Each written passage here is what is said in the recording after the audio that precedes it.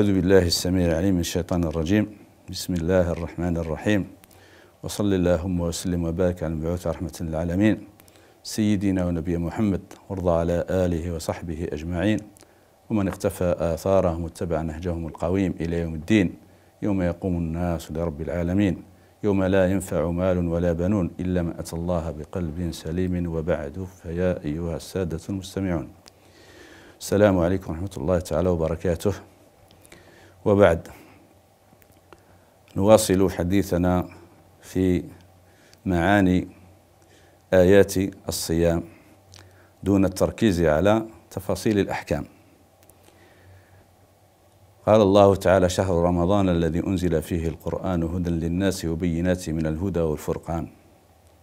فمن شهد منكم الشهر فليصمه ومن كان مريضا أو على سفر فعدة من أيام أخر يريد الله بكم اليسر ولا يريد بكم العسر ولتكملوا العدة ولتكبروا الله على ما هداكم لعلكم تشكرون. فمن شهد منكم الشهر فليصمه. حديثنا اليوم عن اليسر في شريعة الصيام. فمن شهد منكم الشهر فليصمه. من شهد بمعنى من حضر. وليس من شاهد أي رأى بعينه. والمشاهدة أو الشهود هنا عكسه السفر. فمن شهد منكم الشهر فليصمه فليصمه اللام للأمر والأمر للوجوب فليصمه. ومن كان مريضا أو على سفر فعدة من أيام أخر. يسقط وجوب الصوم على المريض عن المريض والمسافر. فمن شروط الصيام شروط وجوب من شروط وجوب الصيام الصحة والإقامة فمن شهد منكم الشهر فليصمه. ومن كان مريضا أو على سفر فعدة من أيام أخر أي عليه بقضاء صيامه في أيام أخر بعد أن يعود من السفر أو يزول عنه المرض. أما السفر أما رخصة السفر فقيل أي من طرف الفقهاء أنها يشترط فيها شروط بأن يكون السفر مباحا حلالا. وأن يسافر المسلم قبل طلوع الفجر قبل وجوب الصيام عليه وأن يكون سفره يصل مسافة القصر عند بعض الفقهاء وهو عند المالكية ثمانون كيلومترا مسافة مسافة قصر الصلاة. وأما المرض فإذا كان المريض يخشى على نفسه تأخر الشفاء أو زيادة المرض بفتوى الطبيب الثقة فله أن يفطر ولا يصوم ويقضي. وأما إن خاف على نفسه الهلاك من ذلك المرض إذا صام فهنا يجب عليه الفطر لقوله تعالى ولا تقتلوا أنفسكم إن الله كان بكم رحيما الآية من سورة النساء. فمن كان مريضا أو على سفر فعدة من أيام أخر يريد الله بكم اليسر ولا يريد بكم العسر. وهذا بيت قصيدنا.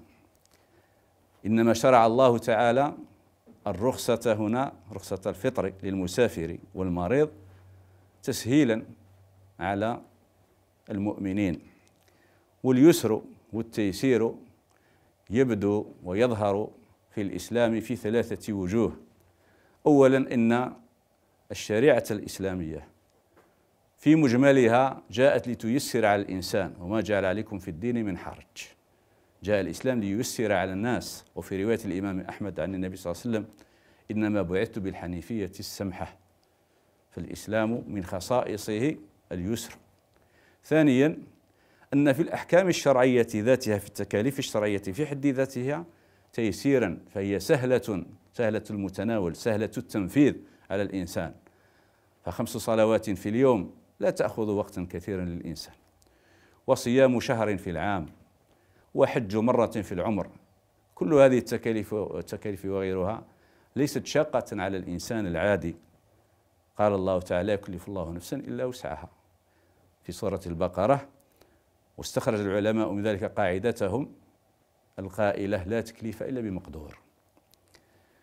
والوجه الثالث للتيسير ويتجلى هنا في الصيام وهو الترخيص للمريض والمسافر بالفطر.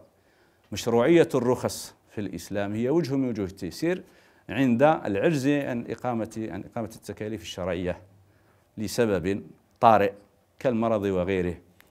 فمن عجز عن استعمال الماء توضأ ومن عجز عن الصلاة عن الصلاة قائما صلى قاعدا وهكذا. ومنه العاجز عن الصيام لمرض أو يشق عليه الصيام لسفر رخص الله تعالى له أن يفطر ويقضي. وإن لم يكن له أمل في الشفاء كمن هو مريض مرضا مزمنا عافانا الله وإياكم فقالوا يفدي وليس عليه القضاء. يريد الله بكم اليسر ولا يريد بكم العسر ولتكملوا العدة. وتكبروا الله على ما هداكم.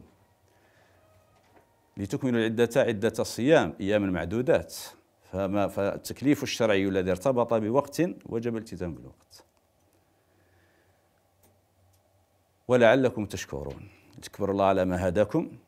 تكبروا الله تعالى شكرا على هدايته لكم للإسلام وللصيام بل وهدايته لكم للأخذ بالرخص. ولعلكم تشكرون. تشكرون الله تعالى على كل هذه النعم ومنها نعمة التيسير وما أعظم من نعمة في الإسلام. وفقنا الله تعالى وإياكم لما يحب ويرضى وتقبل الله منا ومنكم وغفر لنا ولكم. وسلام عليكم ورحمة الله تعالى وبركاته.